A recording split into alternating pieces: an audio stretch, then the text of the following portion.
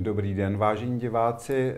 Vítám vás u rozhovoru s Petrem Robejškem. Dnešním tématem je práce Petra Robejška až do dnešního dne, která vás zajímá a na co jste se velmi často ptali na našich webových stránkách. Dobrý den, Petře. Dobrý den.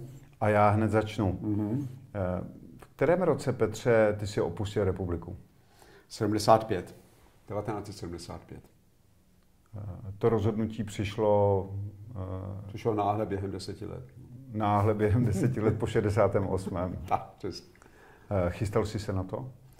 Samozřejmě, protože jsem odpovědný člověk a všechno, co dělám, dělám pokud možno promyšleně, tak jsem se chystal. Učil jsi se jazyk?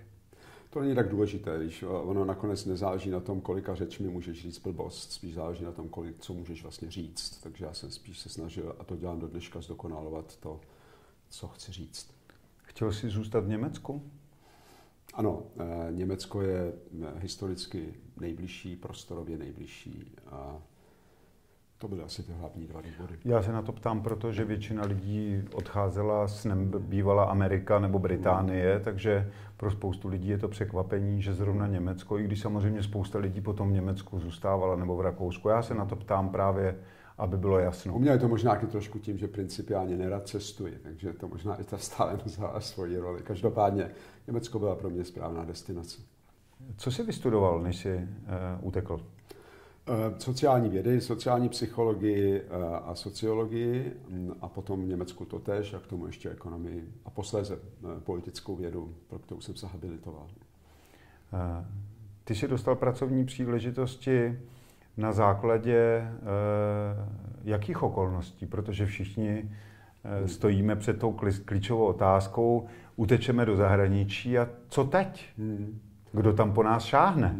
Jasně, to eh, nikdo v podstatě, protože eh, mají svých lidí dost právě ještě v těch podivných oborech, jaké jsem měl já. Takže moje šance byla jednak daná tím, že jsem eh, svrchovaně prakticky orientovaný člověk a za druhé, že se nabízela zrovna kompatibilní instituce, dokonce dvě zároveň. Poté, co jsem skončil školu, které přesně takového člověka chtěli. Někoho, kdo se vyzná v teorii, ale zároveň je zakořeněný a orientovaný do praxe. No já jsem si vybral tu hamburskou, tam jsem studoval, tam se mi víc líbilo. Eh, kde jsi tedy nastoupil?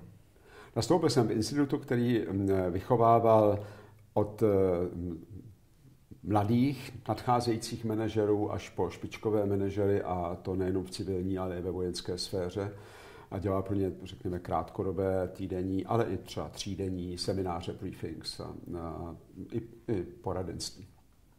Takže to byla firma, která se orientovala na to radit jiným, jak hmm má věci dělat, jak vychovávat lidi? Nebo... Jak svět to rozumět a jaké z toho vyvodit důsledky. Takže ano, jinými slovy přesně to, co, co říkáš, ale předpokladem pro to, abychom věděli, co máme dělat, musíme, je to, abychom věděli, co se vlastně děje. Mě by zajímal tvůj pracovní den, mohl bys mi ho nějak popsat? Pracovní den... Takový ten standardní.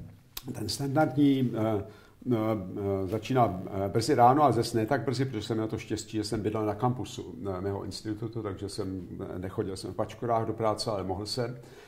Takže kravaťák jsem byl už tenkrát, tak jako teďko jsem odešel do, do, do kanceláře a tam jsem většinou si připravil pár věcí, než uřila devátá a v devět hodin začínaly semináře. A když hledáš ten průměrný den, tak ten průměrný den byl takový, že jsem strávil minimálně půl dne přednášením eh, prací s lidmi a druhou půlku dne tím, co člověk eh, musí udělat, aby měl co přednášet. Rozumím. Eh, když jsi získal klienta, ty si potřeboval ho nějakým způsobem si rozebrat, aby si věděl, co máš mm. přednášet. Mm. Byla tam nějaká práce analytická na začátku? Právě, právě. Tak eh, ten institut byl zavedený a posléze, ne na začátku, hned posléze jsem eh, já získal určité renomé, respektive bylo o mě jasné, co umím a co dělám. Takže tahle ta eh, práce rozboru eh, budoucího zákazníka samozřejmě přesto existovala, ale nebyla eh, nějakým způsobem úplně zásadní. Ty lidi a ty firmy, pro které jsem pracoval, jsem víceméně znal, ať už z předchozích zakázek, anebo prostě protože to byly významné firmy nebo instituce. A co jsi jim nabízel jako tu skutečnou přidanou hodnotu? Moje, i moje osobní klíčová otázka je hledání správných rozhodnutí. To je moje otázka prostě mé, mé životní filozofie. To je věc, která možná je společným jmenovatelem toho všeho, co dělám. Hledání správných rozhodnutí, k tomu patří to, že vždycky hledáme pod tlakem, pod časovým tlakem a to, to už je vlastně popis toho, co jsem dělal. To znamená, jsem se snažil pomoci lidem e, rozpoznat, jaká je situace, rozpoznat to, co je v ní podstatné, to, co se musí, má a potom jak změnit a sdělit mu to. Mohl by si mi, Petře, jmenovat nějakého klienta, s kterým si vyšel z bodu A a došel do bodu B? Myslím tím, že tam byl nějaký cíl dlouhodobý a ten jste naplnili společně?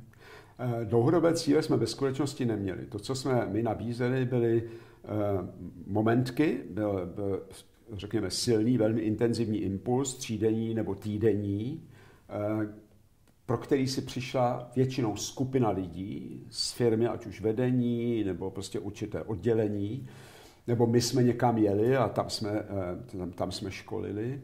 A, a bylo to, jak říkám, bylo to, byla ta analýza situace, ve které se ta která skupina zákazník nacházel, eh, na pozadí zadání, to, co od nás očekával a návrh nějakého řešení, ale většinou to bylo i tak, že jsme to řešení vlastně se snažili vytvářet spolu s těmi lidmi, protože pak je to samozřejmě metodicky, didakticky účinnější a i přesvědčivější a rychlejší. Zákazníci eh, O většině se v podstatě není dobré mluvit, nevidí to rádi a já pár příkladů ze starší doby. Pracoval jsem pro Airbus, kde se právě eh, ta tematika rozhodování pod časovým tlakem jsme tam prováděli vlastně já nevím, tři, čtyři roky, eh, dvanáctkrát do, do roka jsme byli, a tedy za mojí účasti, často jenom já sám jsme byli eh, v té, v té firmě a jim jsme pomáhali řešit eh, složité konstelace. Co tím myslím je, nebo příklad toho, co jsme nabízeli, bylo uvědomit si, že ti, kteří sami rozhodují z hlediska té firmy a své vlastní pozice, jsou vlastně i omezení tím, že jsou zanesení informacemi, povinnostmi, očekáváními, prostě svojí vlastní historií uvnitř té firmy, historií té konkrétní zakázky, které se jejich rozhodování týká a tak dále. To znamená, nevidí úplně jasně. Eh, jsou zahlceni eh, velkým množstvím informací které často nejsou právě z těch důvodů, které jsem právě jmenoval, schopni dostatečně přesně diferencovat podle vzoru, co je důležitější, co je méně důležité. A v tom je vlastně většinou zakopaný ten problém, že máme tendenci považovat všechno za víceméně stejně důležité a z toho potom plyne, že nejsme schopni říct si, tohle musíme zrušit, tohle to nejde, tohle to přijde až na řadu za rok, nebo to prostě vůbec se tomu nebudeme věnovat, protože to stejně nemůžeme ovlivnit. A tenhle ten pohled znějšku mají lidé, jako jsem byl a jsem já, eh, který byl vázaný na teoretické schopnosti, analytické schopnosti a eh, striktní orientaci na praxi. To je, to je moje kredo. Já prostě chci vidět, jak ty věci fungují. Mě nezajímá teorie, mě zajímá, jak ty věci fungují a jak je udělat funkční. Takže e, proto si myslíš, já to takhle řeknu napřímo, hmm. e, že jsi zrozen i proto, aby si to dál používal v politice? Bez sporu, já si myslím, že to je naprosto stejný, vlastně strukturálně je to úplně stejný problém, jako v podnikání, ale dejme tomu jako v privátním životě nebo v sociálních eh, organizacích. Je to otázka toho, jak si vyanalizuji, eh, z čeho se vlastně sestává ta daná konfliktní nebo komplexní situace, co, kam se chci dostat, nebo který, které, které riziko nebo která která věc stačí eh, v botě, co musím tedy změnit a vědět, jak to změnit. A to, ta změna většinou spočívá v tom, že si udělám jasnou, eh, jasný ranking důležitých a méně důležitých věcí a eh, najdu si samozřejmě i ty, které prostě zruším, které buď to je vytěsním, anebo je ne, nereflektuji při tom mém rozhodnutí. Říkal jsi, že jsi pracoval pro Bundeswehr. Ano. To řešení konfliktních situací řeší i Bundeswehr? No, Můžeš tak, mi na to odpovědět? No, ano, no, tak nesporně, že ty, ty konfliktní situace nejsou nutně situace třeba militantní, když Bundeswehr se samozřejmě setkává s militantními situacemi.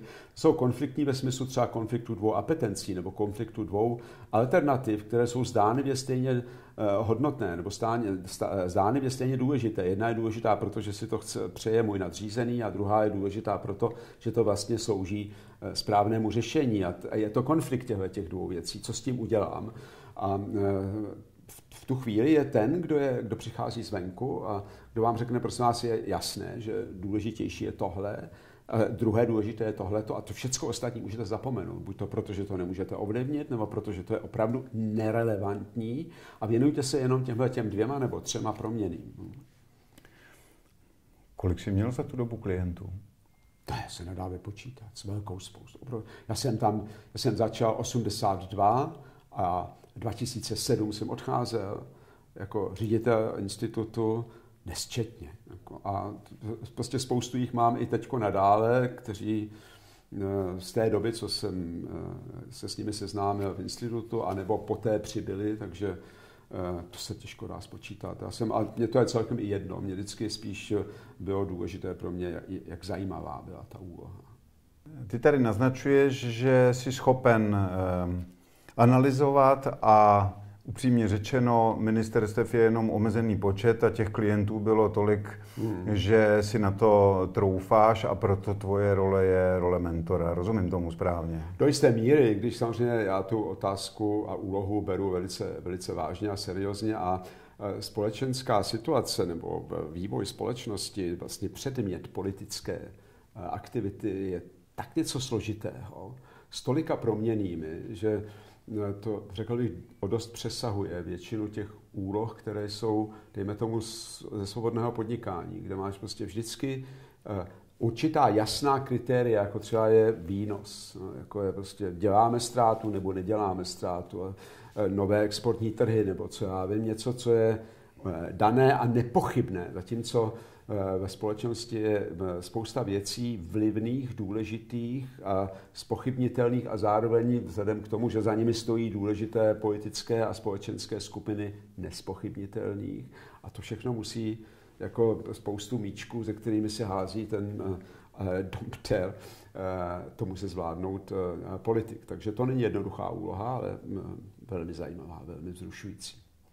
Já mám podobnou zkušenost. Taky jsem pracoval pro řadu klientů a e, já osobně to cítím tak, že každý ten klient ti něco ze sebe dává. Přesně. To znamená, že přináší ohromnou zkušenost, hmm, hmm. protože on chce, aby to fungovalo, takže když se dopouštíš chyb, tak tě okamžitě kárá a upozorňuje na to, kde se ty chyby projevují potom hmm, na tom hmm, jeho hmm, úspěchu hmm, negativně a vychovává tě. Hmm. E, jak dlouho, že jsi to dělal? No, 82 jsem začal a do 2007, no, takže hodně dlouho dělám to do posud, ale teďko samozřejmě teď jsem tady a pracuji pro realisty, takže eh, ten můj klasický biznis takový jako mini, mini, mini, ale do toho roku 2000, řekněme 12, 13 jsem eh, v tom jel naplno, takže velká spousta práce a spousta eh, různých klientů. Jak vidíš vlastně ten odraz té tvojí práce v, té, v tom pracovním nasazení spíš pro tu stranu, pro partaj chceš pracovat, protože já to tak vnímám. Hmm. A nebo to vidíš potom v těch praktických věcech směrem ven, aby si lidi dokázali vůbec představit, co to znamená mentor. No, no mentor asi, asi definuje e, i ta, ten, který tu roli přejmul. Eh, sám za sebe, díky teda svojí zkušenosti a i své povaze. Já jsem člověk, který, jak už jsem naznačil, chce vždycky vědět, eh, jak ty věci fungují a chce je uvést do funkčnosti. To znamená, mě nějaké ideologizování zabývá, zajímá jenom do určité míry a velmi brzy, vlastně okamžitě mě zajímá to, co z toho bude, je to proveditelné, jak bude reagovat společnost, jaké jsou možné eh, scénáře vývoje, který je pravděpodobnější, který je zničující, který nechceme a tak dále. To znamená, ta, je kombinace eh, spousty různých aktivit, v nich člověk musí mít eh, tím analytický rozum, ale zároveň musí mít odvahu být, řekněme, v dobrém slova smyslu povrchní. Říci si tak dost, teď už se nebude číst a nebude se zkoumat, teď se musí rozhodovat, protože tady prostě běží společnost, která čeká na rozhodnutí a která má problémy, které se musí teď a tady řešit. Mně to připadá, jako by si říkal, dejte mi ministra a já mu pomohu najít ta klíčová rozhodnutí. Já bych si na to troufal, samozřejmě, že bych si na to troufal, ale to si myslím, že není, není to ta celá úloha eh, mě jako mentora. Eh, moje úloha jako mentora je dělat tohle pro moji stranu a když budeme úspěšní pro naše ministry, ale moje úloha je i to změnit styl politiky podle toho, jak jsme si ho naformulovali v našem realistickém kodexu dlouhodobě pro celou společnost, protože většina problémů, které dneska politika má, se kterými se potýká, souvisí právě s tím, eh, že eh, pracuje podle špatné metodologie. Protože chce řešit všechno naraz a pokud možno do detailů. A přesně to nefunguje ani v ekonomice, ani v privátním životě a už vůbec ne v politice. A to je třeba změnit. Tak teď už jenom natchnout lidi, aby pochopili, že to umíš. V to pevně doufám. Děkuji za rozhovor. Rádo se stalo. Děkuji za pozornost.